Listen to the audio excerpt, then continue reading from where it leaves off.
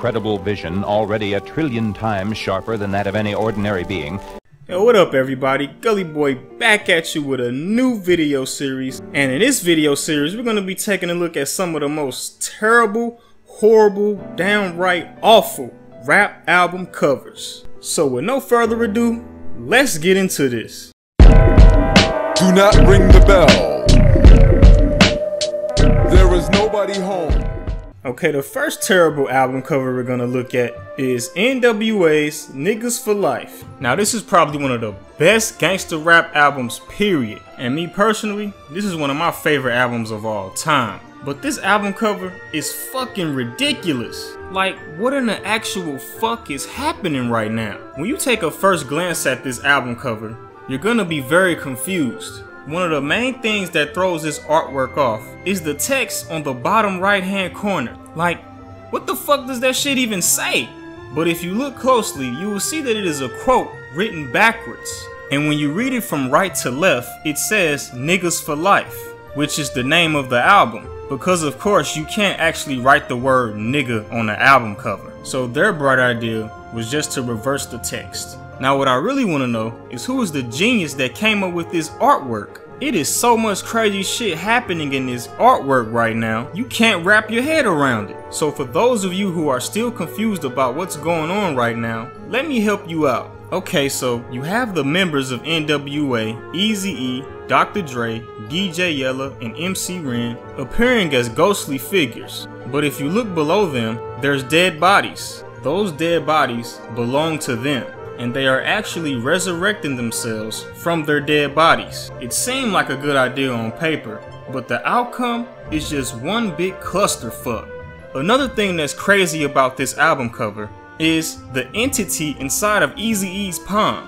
The entity looks very much like Eazy-E laying in a casket. And I'm gonna tell y'all something. I've never noticed this until I put this video together. The next terrible album artwork we're gonna look into is Geto Boys We Can't Be Stopped. This is also another classic hip hop album and one of my personal faves. But again, this album cover is fucking atrocious. The first thing we all notice when looking at this album cover is Bushwick Bill sitting in a hospital bed with his eye blown to shit. Now, the average person would just think that the group was going for shock value, but what many of you may not know is that this is an actual real life hospital emergency.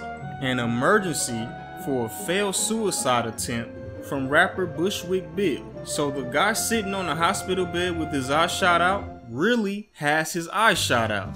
The record label executives thought that it would have been a good idea to take this picture for an album cover. I thought that they had changed. They didn't put the picture of you on the album. Nah, they did put the picture on the album, and I couldn't understand that because I was drugged up at the time the picture was taken. Yeah. I didn't even remember the picture. It's like Right. ev- everyone is telling me, Bill, you was hard for taking that picture. That's so real that you you want to just show the realness of what happened. I was like, that, that was personal.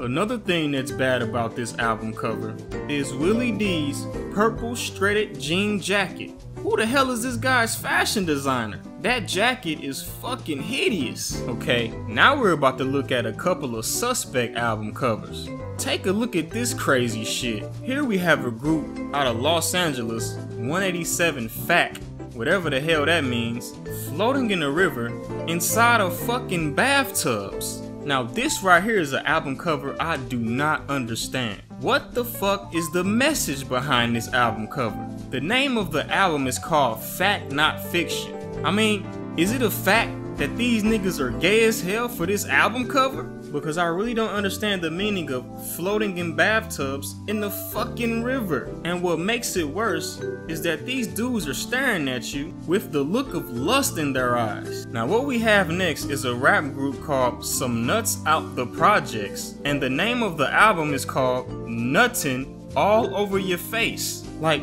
seriously?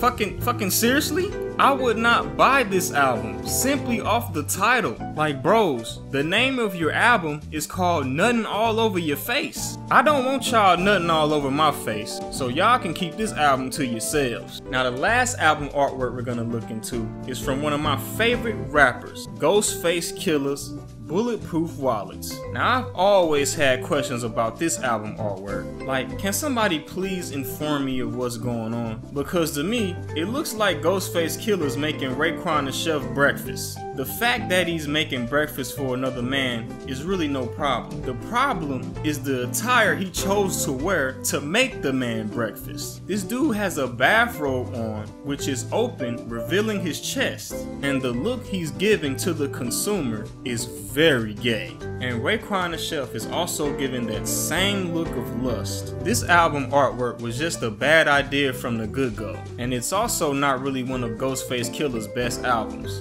Alright guys, that's the end of the video. If you guys like this video, be sure to hit the like button and let me know in the comment section if you want to see more of these videos. Alright y'all, I'm going to catch y'all next time. Gulley Boy signing out.